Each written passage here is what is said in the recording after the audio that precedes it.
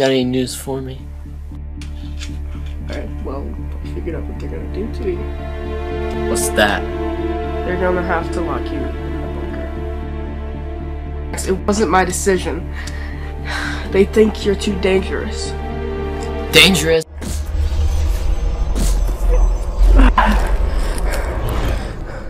I'll show him dangerous.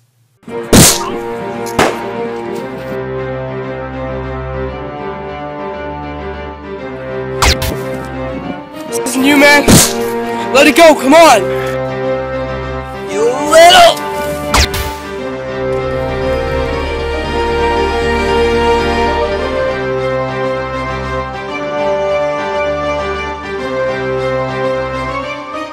Ah, stop it! You gotta kill!